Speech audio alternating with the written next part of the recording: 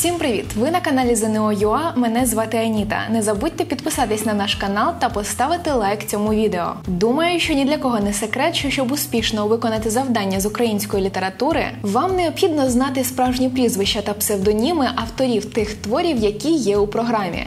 Тож сьогодні про це і поговоримо. Поїхали!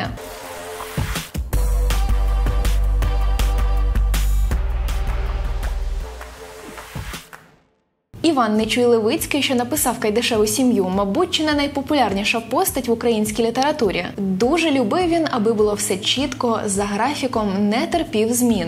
Тож і його псевдонім Нечуй Левицький не дуже відрізняється від його справжнього прізвища Левицький. Панас Мирний особистість цікава. Він вдало поєднував посаду чиновника і талант письменника. А твори він писав з подій, які реально бачив. А ви ж знаєте, як тогочасна влада ставилась до інтелігенції, правда ж? Тому пана Сурудченко, а таким було його справжнє прізвище, був змушений ховати себе під псевдонімом. До речі, саме це врятувало його, коли в його квартирі був обшук. Поліція не знала, хто такий цей мирний. Тому в його квартирі обшук проводили не дуже ретельно і не знайшли рукописів, які були сховані у коридорі в ящику для сала.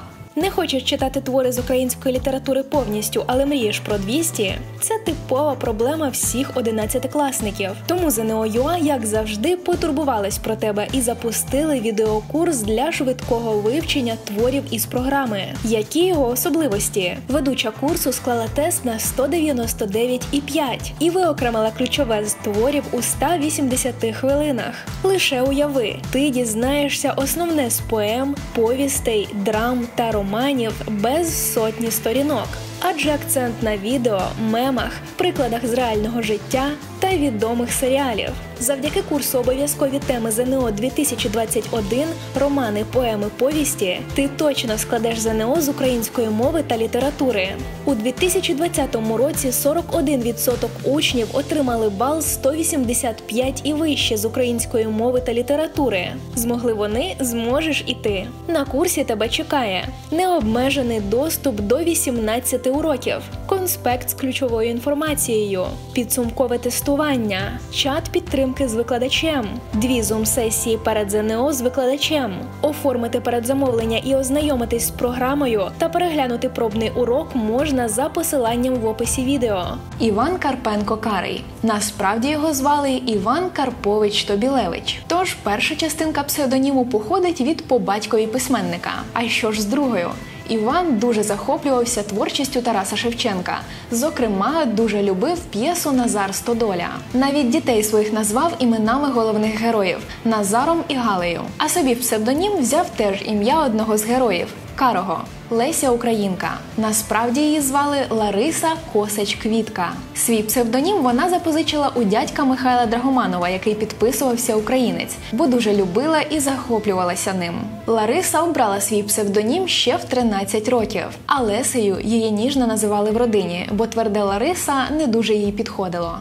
Олександр Олесь цікавий тим, що більшість своїх творів писав в кав'ярнях, пивних чи вдома за чаєм, записуючи на клаптиках паперу, які часто губив. Олександр Кандиба, таким є його справжнє прізвище, вперше підписався Олесем у 1903 році, після знайомства з багатьма письменниками та своєю майбутньою дружиною, з якою з 1917 по 1944 роки жив в різних країнах. Микола Хвильовий назвемо його містичним письменником, закоханим у число 13. 13-го він народився, 13 було його улюблене число. 13-го він пішов в життя, вчинивши самогубство на знак протесту тогочасній владі. А справжнє його прізвище Фітільов.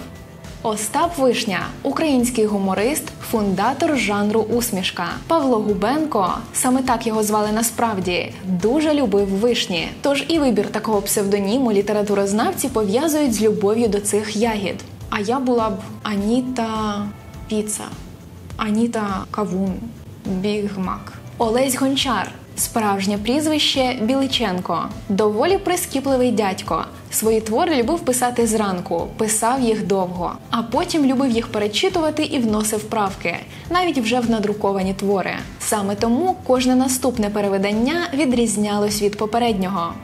Іван Багряний псевдонім обрано під впливом, як припускають, захоплення творами Миколи Хвильового. В текстах його улюблений епітет Багряний виражав революційно-романтичне поривання, а насправді ж його звали Іван Лозов'ягін.